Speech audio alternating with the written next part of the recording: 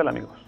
Ha comenzado el mes patrio y por esa razón iremos al que es considerado el corazón no solamente de nuestra ciudad, sino de todo México, y me refiero al Zócalo en el centro histórico. La plaza de armas de nuestra ciudad tiene sus orígenes tras la conquista de Tenochtitlan. Los conquistadores españoles trazaron la nueva ciudad bajo los cánones de la época, una plaza central con los principales edificios públicos a su alrededor, la plaza se convertiría en el corazón de la ciudad novohispana y era surcada en su extremo sur por la llamada acequia real, por la que llegaban las canoas cargadas de mercancías desde Xochimilco. En 1695 se mandó construir en el sector suroeste de la plaza el mercado del Parián, el más importante de la ciudad y donde se expendían diversos tipos de mercancías, incluso las que llegaban desde Oriente.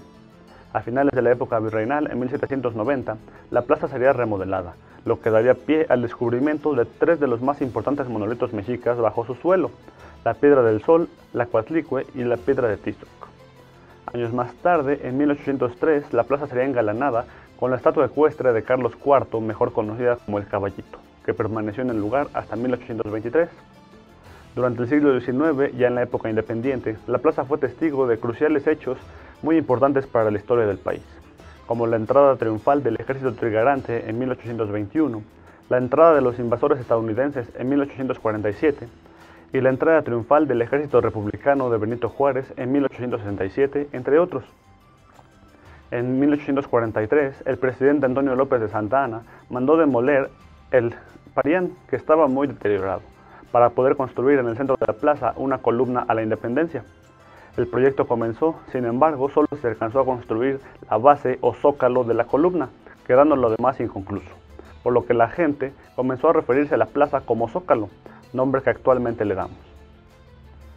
Durante la época del porfiriato, la plaza fue remodelada y se le dotó de jardineras, fuentes y faroles, además de que se instaló en ella la estación central de los tranvías que conectaban a la ciudad con los pueblos de los alrededores.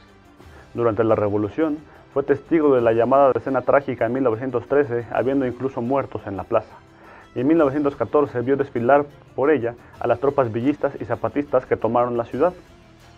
Durante el siglo XX, la plaza sería remodelada en diversas ocasiones, siendo hasta 1958 que adquiriría su fisonomía actual, una plancha de concreto sin árboles, jardineras ni faroles, solamente el asta bandera en el centro de la misma por lo que se convirtió así en la tercera plaza pública más grande del mundo, después de la Plaza de Tiananmen en Beijing y la Plaza Roja de Moscú.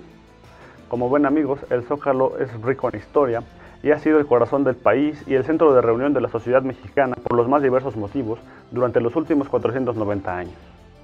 Es todo por esta ocasión, nos vemos la próxima semana con una nueva recomendación de esta, nuestra ciudad fantástica.